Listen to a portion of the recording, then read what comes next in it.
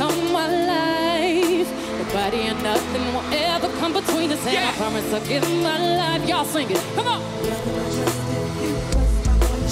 Beyonce and Jay Z unleash On the Run, their HBO concert event this weekend. The show jam packed with hit after hit and some serious style moments. But the powerhouse duo's fashion hasn't always been pretty.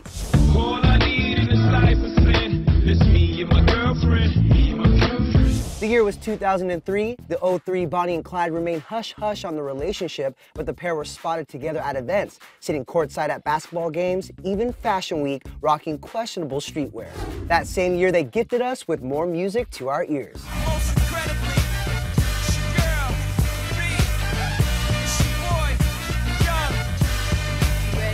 By 2004, they went from crazy in love to crazy with these outfits. The couple's first red carpet together was memorable, but their matching ensembles, regrettable. You are pulling out the glamour. I can't breathe. Thank you very Is that heavy?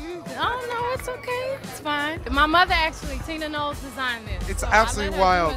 Her thing. But my, how quickly they redeemed themselves. The 2005 Academy Awards was a major turning point, a picture of class and sophistication.